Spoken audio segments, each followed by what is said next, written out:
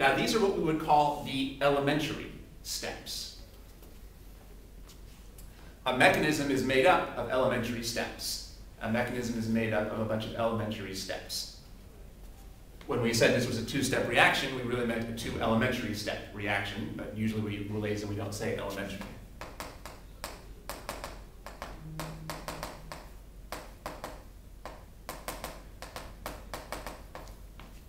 For that matter, when we proposed this mechanism, this was proposed as an elementary step. We were proposing that the mechanism happened in one elementary step. But when I wrote this down, I wasn't saying this was an elementary step, I was saying this was the overall reaction. The overall reaction is different from the elementary steps, although in some cases they could be the same. It's possible that the overall reaction happened in one elementary step, but it's also possible it happened in two elementary steps, neither of which perfectly matches the overall reaction. So what is an elementary step? How is it different from the overall reaction? Well, again, the overall reaction just tells you the starting materials and the products without actually telling you what's actually going on between the molecules. The elementary steps tell you what's actually going on. They tell you how the things are actually interacting with each other. We're saying that this O3 actually did kick out one oxygen. And then that oxygen really did meet up with another O3.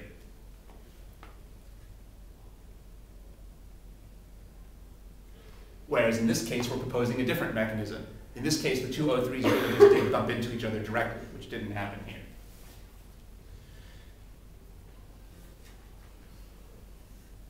All right, so your textbook gives the definition, an elementary step is a step that's not made up out, of simpler steps. Well, we're proposing that this is as simple as we can get. That's what elementary means. An element is something that can't be broken down. Uh, so they have some terminology for elementary steps. Uh, molecularity, which your instructor might have used in class. Molecularity uh, basically tells us how many starting materials um, there are in the step. For example, the molecularity of this step is 2, because in this case it takes actually two molecules reacting with each other. Usually we think of these numbers as moles, but here, since we're thinking about what actually happened, we should interpret it as molecules. We're thinking of two molecules of O3 bumping into each other. Maybe a more intuitive way to write this here would be like this. We're just saying two separate molecules of O3 bumped into each other. So the molecularity of this step would be bimolecular. That's a very intuitive term, I think. What's the molecularity of this step? Unimolecular. Because there's only one atom by itself. How can you have a reaction with one atom by itself? Well, we said it's actually not that hard. This is a single atom that just kicks out one of its pieces. So you can react just by yourself. And what's the molecularity of this step? Yeah. Um, I crossed this out, but that's not because it doesn't exist here. It's because it crossed out when we did the overall reaction. It exists in the elementary step. Maybe I should put that back in. So this would be bimolecular. It's also possible to have termolecular, which means three molecules in that one step. But that's actually quite rare. Why is it rare that an elementary step would be termolecular? Because it's hard to match, match up speed and the uh, concentration and timing for like three molecules to bump into each other because they have to have same like uh, similar conditions. That's right. The key thing that you said is you used the very simple term of bump into each other. Remember, these molecules are not, even though I talk like they are, they're not little people. They're not looking for each other to have a reaction. They only react when they accidentally bump into each other. Well, how likely it is, how likely is it that three separate molecules would all bump into each other at the same time uh, with the exact right orientation and energy? Not that likely. So it's possible there are termolecular steps, but they're less likely than unimolecular or bimolecular. Uh, okay, so that's an important skill to take a look at that. I don't think we really applied that to this though, because this is the overall reaction. We applied those terms of molecularities to the elementary steps. Is it tri or termolecular? Uh, the convention is that it's termolecular. That's right. It seems like it would be logical to say tri-molecular. That's what we usually say. But the, uh, the convention is that it's called Sure, you might have heard of tertiary, so that is another root that's used for three. Ter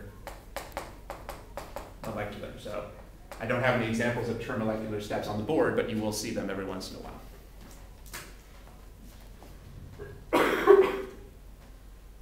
Some termolecular elementary steps occur, but they're extremely rare because of the probability of three particles colliding simultaneously with enough energy and effective orientation is very small. Higher molecularities are not known, so we don't have to learn about tetramolecular. Again, how likely is it that four things would accidentally bump into each other in just the right way?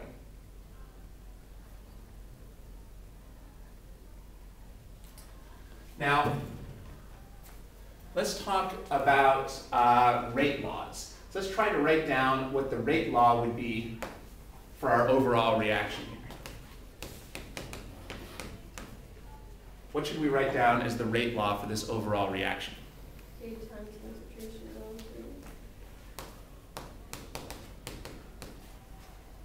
Concentration of what? O three. Anything else we need to put in there? The two, uh, two, two molecules on top of this mean the exponent. Okay, so you're correct. We need an exponent up here. Do we know that the exponent is the number two? No, we don't. You cannot figure out what the exponent for the rate law is from the coefficients from the overall reaction.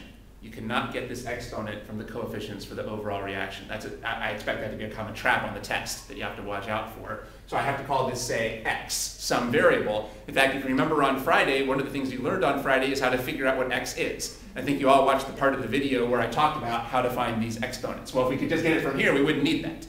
So um, the exponent is unknown. Generally, you get the exponent from the experimental data. Knowing the balanced equation is not enough. And that makes sense because the rate depends on how the reaction actually happened. But this doesn't tell us how the reaction actually happened. So how could it give us the exact right numbers for the rate? So this is the, maybe one of the most important skills in this chapter is writing down the rate expression and then filling in the details. So here we have this rate expression, but we don't know this detail yet. Now, um, this is a little more complicated than I made it seem. Actually, there's two different reactions happening here. There's the forward reaction and there's the reverse reaction. Um, ozone is turning into oxygen, and also at the same time, oxygen is turning into ozone. Generally, both of those would be happening at the same time. Sometimes the forward reaction is happening faster, and on net, you're producing more product. And sometimes the reverse reaction is happening faster, and on net, you're producing more starting materials. Um, what about if both reactions are happening at the same rate? I don't know if you guys, I briefly might have talked about it in class. What do we call the situation where both the forward and the reverse reaction are happening at the same rate?